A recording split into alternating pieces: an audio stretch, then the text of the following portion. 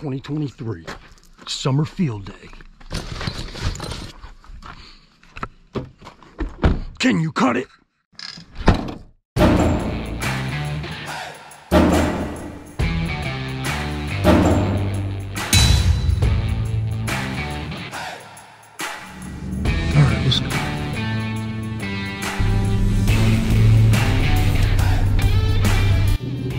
Apparently there's no parking.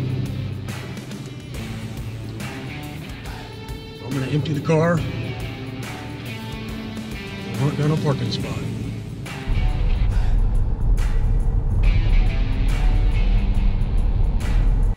Wes called and told me the parking lot was full. Well, I showed up and they just left. That's a good thing about being this ugly. All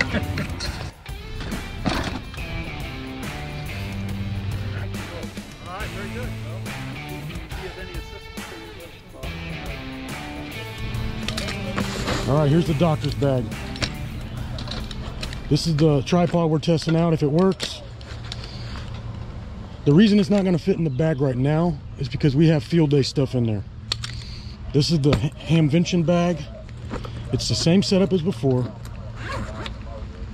but it's got enough for three nodes in here at least.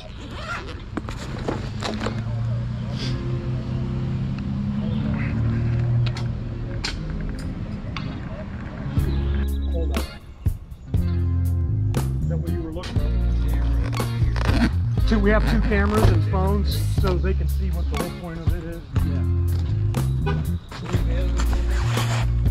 Fragile. Very.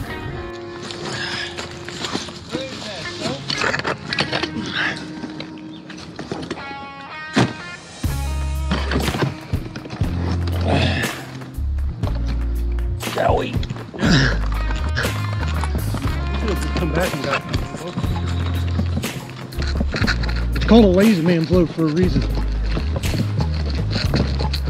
What's up, stranger? How are you? I'm here. How are you?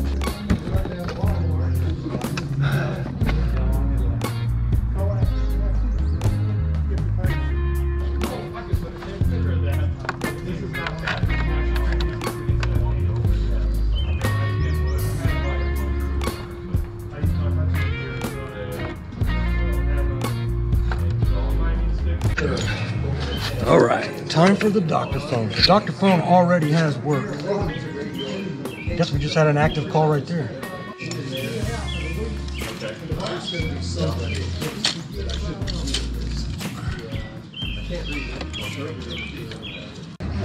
All right, we're operational. This camera's online. That camera's online. Red truck way down there. And there's the mobile doctor phone. So these are basically two backbones and a mobile.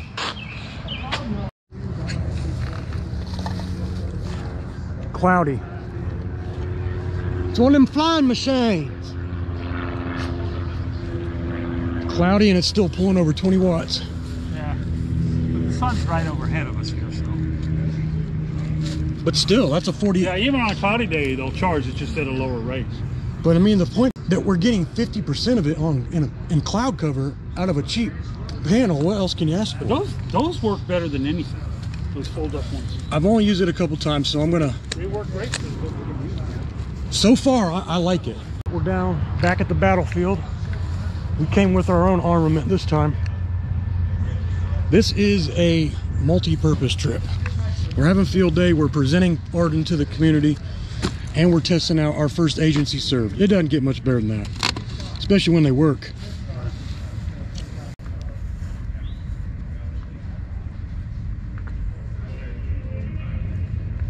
Hear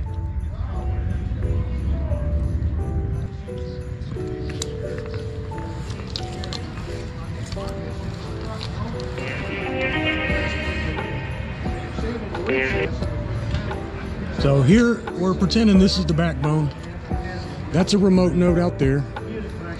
And that would be like an end end mile, whatever it's called. Last mile node. I was tempted to bring NPR 70, but there's enough going on here. Also, we can tunnel into my house. which I'm going to here in a minute. I just want to cool off. I'm burning up. Yeah, hour 45 minutes. And three nodes set up. Now I need to go swap out the, the panel because that's my personal panel. That's a 40 watt instead of the 30. So maybe that's what I'll do. I can Still tell can't he's get smart. that camera. Oh yeah, go. No, we're in. No. Yep, go back. That, that when you first log in, go to um. We're in, baby. There we go. Here from the truck. Yeah. There's the node. Yeah. And then we're up in Yeah, there. there's the NanoStation M2. And the, and the other node is right there, leaning up against the post. I have a really bright flashlight. Let me see it. Yeah. Cool. Oh, I gotta get the, the solar panel. The doctor's solar panel.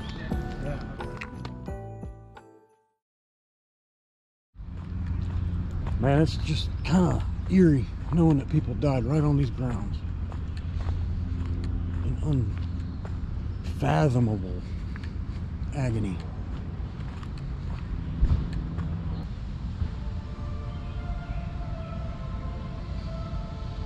Man, that's exactly where the can- cannon sat.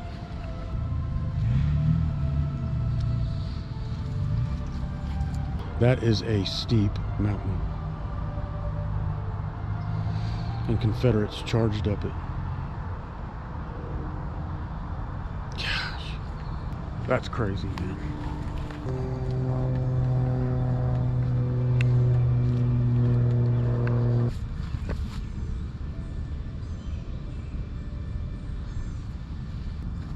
Man, I can hear the old men.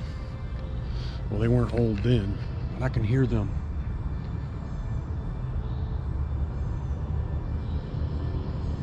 Around.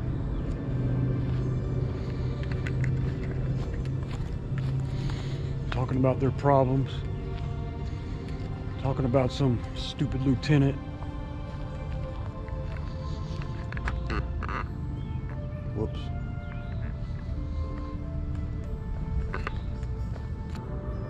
Fort Dickerson came under attack only once during the Civil War, in a prelude to the 19, to 1863 siege of Knoxville. Federal and Confederate cavalry fought for possession of these heights. Its lofty presence, however, served as a deterrent until the end of the war. Wow.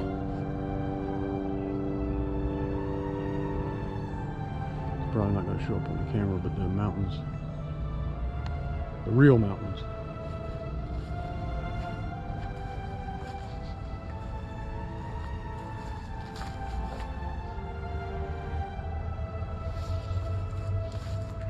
I must say, I'd rather be up here than down there.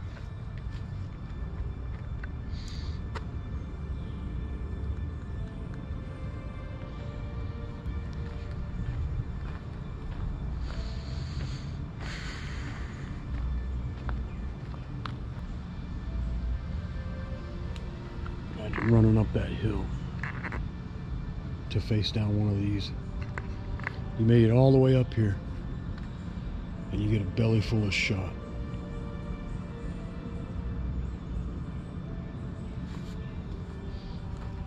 War is so horrendous, especially back then. Yep, it was personal. It was definitely personal back then. I'm not a military strategist, but it seems like a good place for a fort. All right, back to enjoying the luxuries that those people inadvertently gave us.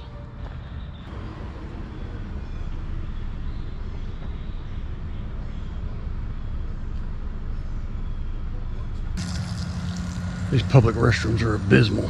I want to see the manager.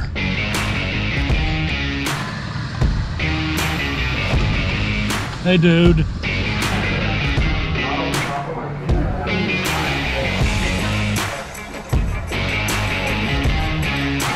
Sun is right overhead. It's a 30 watt. It's I think it hit 15, 16. BTZ's up. Yeah. But I can't get the other one coming. Oh Oh wait, I'm going over the radio there. So I don't know if I'll get through. Wow, I'm getting through. Yeah, just just log in. There it is. That's good. That's a good picture right there.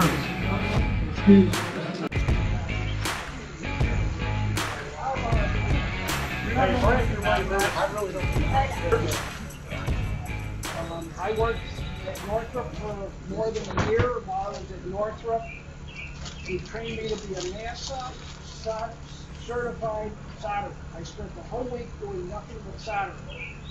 They give you a board and tell you what to solder, then they would take it away. The next day they bring the board back with all these little red stickers on it. It didn't meet no specs. So that's where I learned to solder. What we'll be going through real kind of quickly is using the right tool for each job. It's important to use the right tools. Use the right solder. There's half a dozen circuit board, soldering wires to a connector, and everybody's favorite PL259s. How to do them. Cutters different, oh, by the way, any of the tools or whatever you see. You twist all the wires together and make sure which needle is in the connector. Five, question mark. The same, do the same, I do the same thing with this. I fold a braid over, and adapter I split it to use the proper size adapter. And then the only thing you have to solder is the tip. And you can take it all apart. We can take these home with us, right? I'm sure you can. And all you have to solder is the- is the hmm. solder. Summar- Summarize it all. You got the whole rest of the state there. Yep. next to godliness. All right. Yeah. Mesh status. We'll see, we'll see it. Connections are not.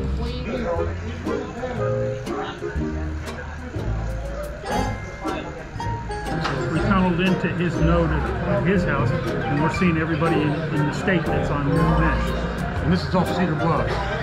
Oh, okay. Get to the internet. We are through the phone, through the cell phone. So uh, his email is this one here. Okay. I'm Andy, and I'm, you know, Okay. So we're all you guys we're all proudly and we're all have art and I still got them. Packed up, I don't have it out. Did the roof, they took that off and they took it with them.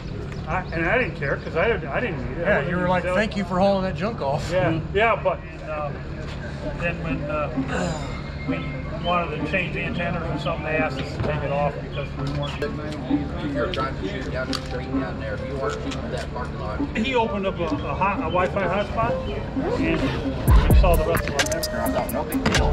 And I was trying to do a project. I'm gonna take one of these Wi-Fi, and Wi-Fi. So even though that they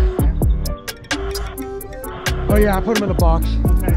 See if, you can, if it's going to fit in your boxes and everything else you got in. Yeah, that's not like the final. Just connect that in.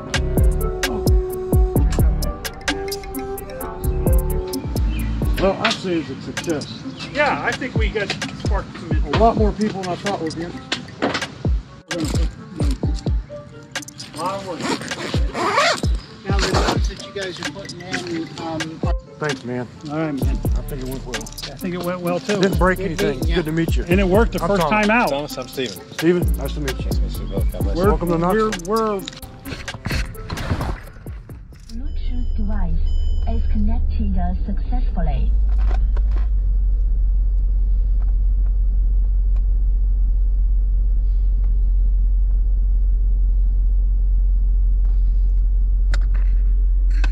crap, this has been running.